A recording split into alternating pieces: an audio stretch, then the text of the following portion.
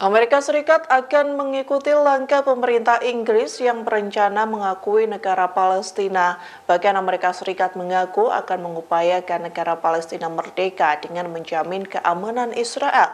Meski begitu, keputusan Amerika Serikat membuat Israel ketar-ketir lantaran selama ini tak pernah menginginkan Palestina merdeka. Dikutip dari Asios, pengumuman itu disampaikan oleh pejabat pemerintah Presiden Joe Biden pada Rabu 31 Januari 2024. Pihaknya mengatakan Amerika Serikat akan menemukan jalan keluar yang diplomatis dari perang di Gaza.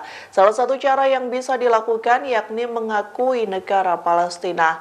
Beberapa pejabat Amerika Serikat pun memiliki pemikiran yang sama bahwa langkah pertama mengakui negara Palestina bisa menjadi cara menyelesaikan konflik. Pertimbangan mengakui negara Palestina pun tak main-main. Pasalnya Departemen Luar Negeri Amerika Serikat Matt Miller mengatakan pihaknya akan melakukan berbagai upaya untuk pembentukan negara Palestina merdeka.